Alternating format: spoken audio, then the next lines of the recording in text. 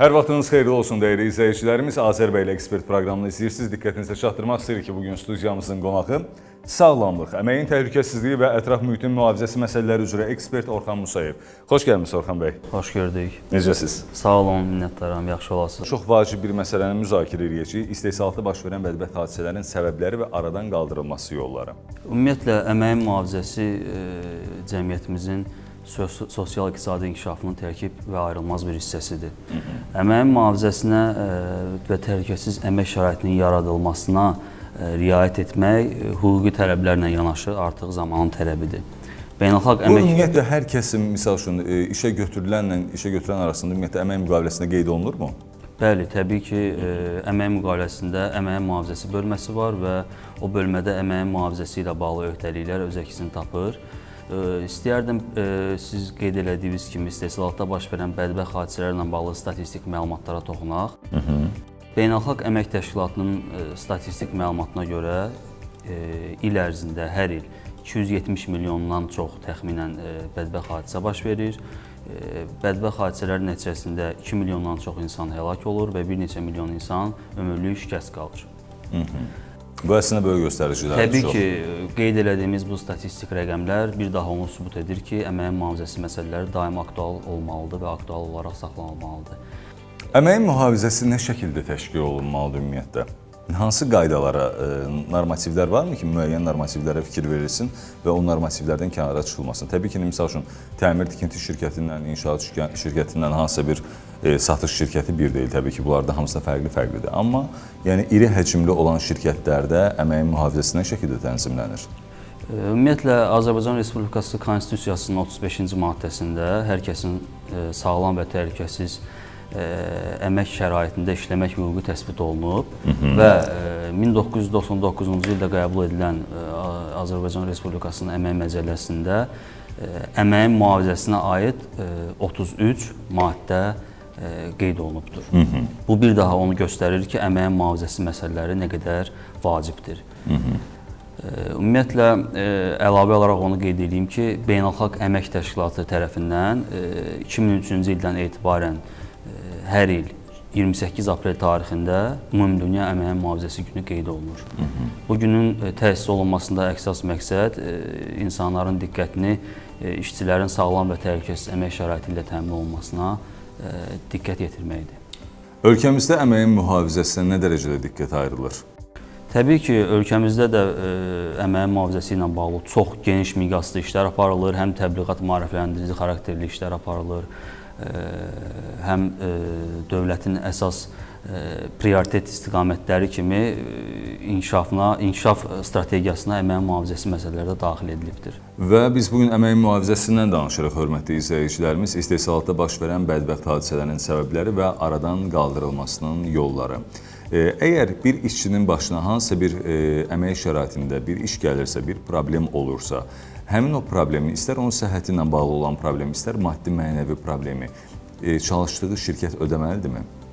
Ümumiyyətlə e, işçilər işə qəbul olunarkən onlardan e, tələb olunan əmək məcəlləsi ilə tənzimlənən onlardan tələb olunan müəyyən sənədlər var. Hı -hı. Bu sənədlərə daxildir təbii ki, işçilərin sağlamlığı ilə bağlı tibbi arayış tələb olunur və işçilər işə qəbul olunarkən sağlamlıq haqqında tibbi arayış təqdim edirlər və dövrü olaraq dövrü tibbi müayinədən keçməlidirlər. Bu bir məsələ. Və hər bir işçi e, istehsalatda bədbəxt hadisələr və peşə xəstəlikləri nəticəsində peşə əmək qabiliyyətinin itirilməsi hallarından icbari sığorta olunmalıdırlar. Bəli. Və hər hansısa bir bədbəxt hadisə baş verərsə, e, sığorta tərəfindən ödənişlər təmin olunmalıdır. Bəli. Kompensasiya ödənilməlidir. Bəli və e, bu qanunvericiliyin tələblərinə əsasən e, işçilər işə qəbul olunarkən giriş, iş yerində ilkin, növbədənkənar, təkrar, birdəfəlik növdə təlimatlar keçirilməlidir. Hı -hı. E, lakin bir çox hallarda bu təlimatlar formal xarakter daşıyır. Yəni bir çox tikinti müəssisələrində bu təlimatları formal olaraq keçirirlər. Yəni qanunvericiliyin tələbidir deyə keçirirlər işçilərdən sorğu-sual eləyəndə bizə məlum olur ki, heç bu təlimatlar ümumiyyətlə verilməyibdir. Sadəcə olaraq jurnallar və tərtib olunan sənədlər imzalanıbdır. Və bu da təbii ki, bizim qeyd etdiyimiz kimi bədbəxt hadisələrin və peşə xəstəliklərinin birbaşa olaraq səbəbidir. Mən istəyirəm bir məsələyə də toxunam. Məsəl üçün təbii ki, ölkəmizdə və xüsusən də paytaxtımızda günü-gündən binalar, göydələnlər yüksəlməkdə davam eləyir. E, inşaat şirkətləri burada kifayət qədər təbii ki, maddi vəsait qazanırlar. Maddi vəsait qazandıqları təqdirdə işçinin də gərək bütün xərcləri və s. axır hər bir şey layiqincə ödənilə. Xüsusən bununla yanaşı olaraq e, işçinin geyim formasının bəzən doğru düzgün şəkildə olmamadığını görürük. Siz də bunun şahidi olmusunuz. Və misal üçün hansısa bir tikinti şirkətinin yanına keçsən, görürsən bina tikirlər, yaxşı edirlər. Bir qazanırlarsa min qazansınlar, amma görürsən ki, bəzi hallarda nə uniforma yoxdur, nə başda kaska yoxdur. Belə bir hallarda mən dəfələrlə rastlaşmışam və hündür mərtəbəli bina tikilir. Yəni buna hansı qurumlar cavabdeh olmalıdır birbaşa olaraq?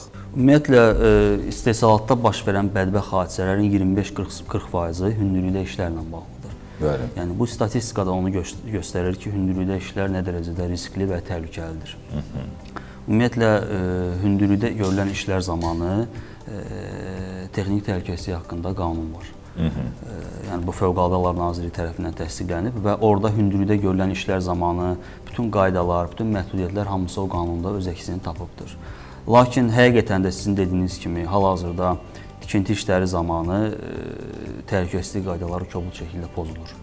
Yəni bunu Bakının küçələrində biz hərəkət zamanı buna biz şahidi oluruq. İşçilər fərdi mühafizə vasitələri təm iləri təmin olunmadan işləyirlər. Məsələn, bu yay aylarında Əmək Məcəlləsinin tələblərinə əsasən havanın temperaturu 41 dərəcə 40 açıq hava şəraitində 41 dərəcədən çox olduqda işlər dayandırılmalıdır, müəyyən fasilələr verilməlidir. Yəni adicə bu tələbə belə tikinti şirkətlərinin bir çoxunda riayət olunmur, bu tələblərə əməl edilmir.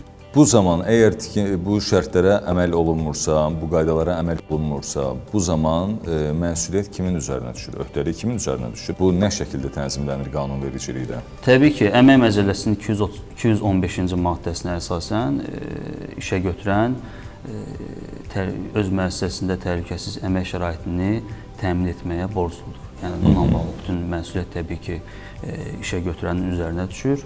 Lakin e, təbii elə müəssisələr də var ki, həqiqətən də işçiləri fərdi mühafizə vasitələri ilə, xüsusi geyimlə, xüsusi qidalarla təbii ki, e, istehsalat müəssisələrində zərərli istehsalat amilləri olan müəssisələrdə təmin edirlər. Bununla da bağlı artıq Əmək Məcəlləsinin 216-cı maddəsinə əsasən işçilərin üzərinə öhdəlik düşür ki, onlara verilmiş xüsusi geyimdə, xüsusi e, çeşidli ayaqqabı, xüsusi çeşidli geyimdə işləməyə borcludurlar. Günümüzdə siz daha çox nə kimi problemlərlə rastlaşırsınız? Təbii ki, bu sahə üzrə ekspertsiz. Sizə də kifayət qədər müraciət edənlər yəqin ki, olur, düzdürmü? Bəli.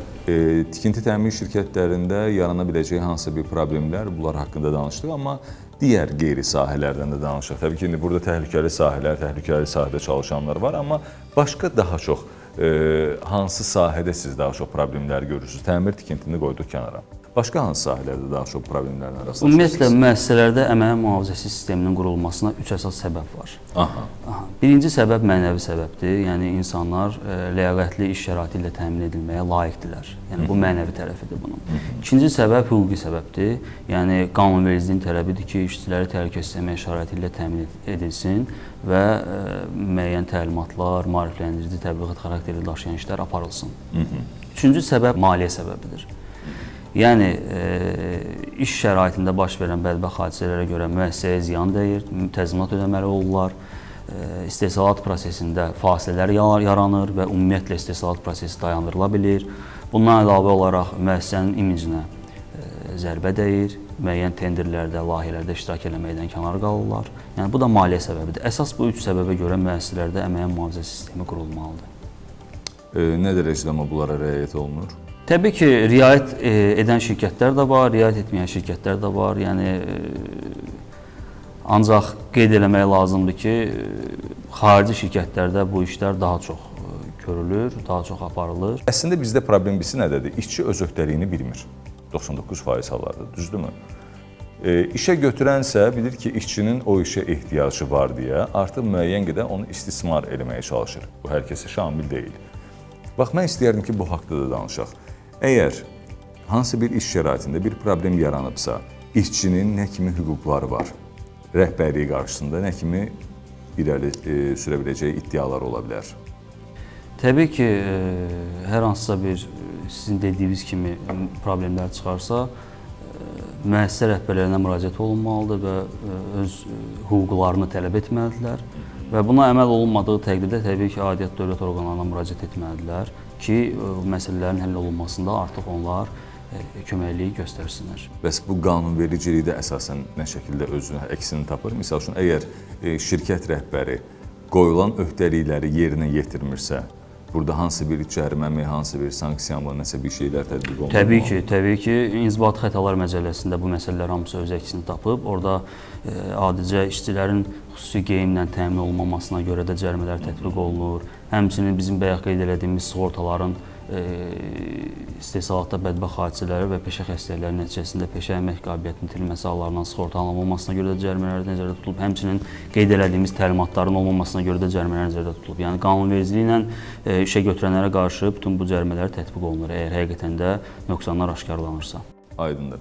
Bir daha diqqətinizə çatdırmaq istəyirəm ki, studiyamızın qonağı sağlamlıq, əməyin təhlükəsizliyi və ətraf mühitin mühafizəsi məsələləri üzrə ekspert Orxan Musayev idi. Orxan bəy, təşəkkürlərimi bildirirəm sizə. Çox sağ olun ki, bu gün dəvətimizi qəbul ediniz, gəldiniz və son olaraq üzünüzü kameraya tutaraq izləyicilərimizə nə demək istəyərdiniz? Çox sağ olun. Mən də minnətdaram dəvətinizə görə. Hər bir kəsə təhlükəsiz və sağlam iş şəraiti arzulayırıq. Hər bir kəs sağlam olsun. Amin inşallah. Hörmətli izləyənlər, proqramımızın ikinci hissəsində yenidən görüşərik. Hələlik.